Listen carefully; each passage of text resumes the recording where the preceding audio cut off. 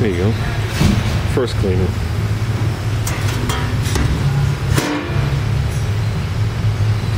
We'll do this better than that.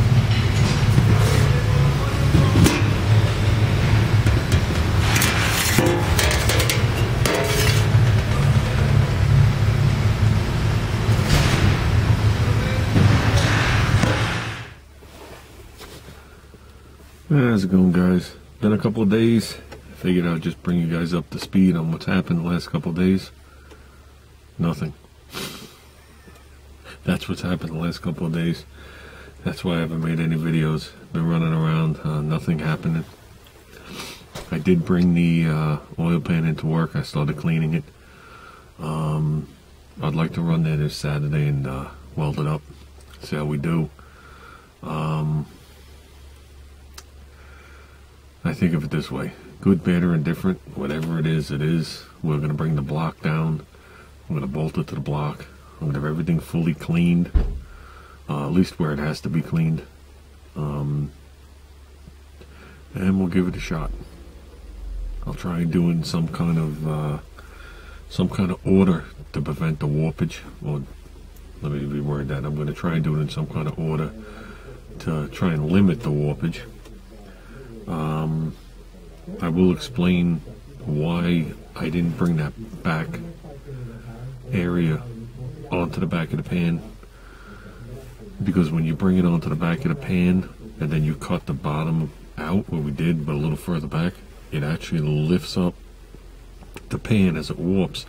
And you have a problem sealing the, uh, not the rear main seal, but the seal that goes around the rear main seal, around the main bearing uh, the little rubber seal. It tends to lift there and doesn't exactly uh, conform the way it has to. So that's why I stepped the pan forward a little bit and let it make the curve to try and limit that. Um, I mean, I think we'll do okay. I'm not gonna, I'm not gonna go too too crazy until this is welded on. Once this is welded on, uh, we'll come up with some kind of baffling. Um, and uh, we'll see how it works out.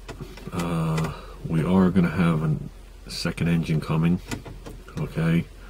Um, but just like long before you guys saw my videos, you got to understand I've had well over 200 videos removed in the beginning of my YouTube career. Because once I saw all the copyright stuff coming, back then they did a little different. Uh, I didn't know what that meant. Made it sound like I was breaking the law and the police were going to come knocking on my door. So I went on YouTube and eliminated all my original videos. And um, I left one up. The first video that you see was the only one I left just to keep the channel open. I didn't know what was going to happen at the time. Nobody could answer any of my questions back then. Um, as long before the Garage Gang and all that other stuff. It's almost, uh, it's like nine, ten years ago now. Um, but um, what was I going to say? The original purpose of the my wagon was going to be a test platform. So now that's been pushed over to the Concord. I'm going to let Junior grow with this car and do whatever he wants to do to the car because it is his car. So we are actually going to build two engines for this car, one at a time. We are going to continue the 360 and we had a engine kindly donated to Junior from Cutworm, uh, an AMC 401, which is like they're like race ready out of the box. If anybody knows anything about AMC, um, they handle a lot of power with the factory parts, you know, with upgrades. Meaning, the 360 has a limitation on how much the crank will handle. Um, you have to get aftermarket rods if you really want to get some power in them, and so on and so on. The 401 comes right out of the box with a steel crank, forged rods. The um, webbing where the mains are are as thick as the main caps, so they stiffen the block. Um, all AMC engines are high nickel blocks, which you poor Chevy guys had to pay extra for. Never understood that one either. Uh, all AMC engines up until uh, 73 all have screw and studs.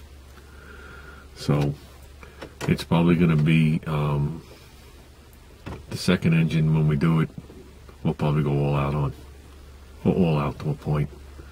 So we'll see how he handles the first one. Our goal is at this point is I have to check the date again, but I'm almost positive it's July 16th of this year.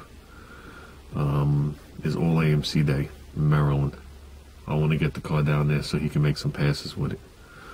Um, but that'll be with the 360, and you know let him get his feet wet with that. And of course, we'll bring a bottle with us. I have a whole nitrous setup that was donated to me by somebody else, minus the plate, um, because he gave it to me fully set up with two nozzles, the way they used to run this.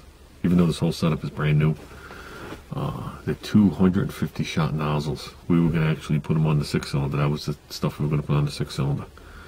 Um, but I'll probably switch it to a plate, and uh, we'll see how it goes from there.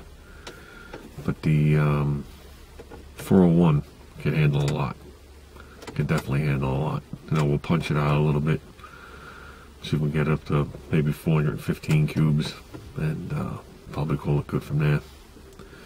I have a buddy that has his set up to 420, and he's in the same wagon as my black one, and he runs 990s with it. So, and that's on foot brake. That's on small tires. That's on 26 by eight and a halfs or eights or something. That's what's lap of ours. Um, pulling the wheel stand with it though. Um, so they do make a lot of power, and that's with steel factory cast iron heads. Which uh, well, at that point we'd have to get into them a little deeper if we wanted to breathe. But um, we'll see how that goes. Like I said, it's going to be a platform you know, this isn't Junior's going to be Junior's daily driver, so we could do whatever we want to it. If it breaks, it breaks. Um, but I think the training rear will be stout enough for what we want to do. Uh, see if we rip those ladder bars off. but it'll be a steady progression, and um, if he wants to make it faster, we'll do it. If he doesn't, maybe we'll keep the other motor a little tamer no, it's going to be his call. It's going to be his. It is his car. It's not my car anymore. So, so with that said, I figured I'd bring you guys up to date, and uh, just hanging out here at lunchtime down by the water. Uh, except for where the snow snow's been stacked, the snow's pretty much gone. So that's good. It's been warm every day. It's warm. There's people just walking by here with t-shirts on. It's not that warm, but I guess for how cold it could be, it's warm. Uh, I mean, we've cracked the 50s already, up to 40s, into like 50. So, and I think uh, this following week coming, we're supposed to go into the mid 50s one day with, with rain. So that'll, if any of this is remaining, it'll all be gone. So not bad for uh, almost February. So with that said, I see beautiful days like this and I want to take my car for a ride, but you can't. Because the roads have salt and shit on them. But, um, yeah, so, like I said, I'm probably going to head back early from lunch. I'm going to finish cleaning that pan. Um, I'm going to start sanding it, but I'm only going to sand where I really have to sand at this point. Because if, I'm not going to stand there and spend an hour on this pan, sanding it or whatever, and everything go awry and me toss it in the pail. I'd rather just sand what I have to say and do it. And if it comes out good, I might just have it tanked. I don't know.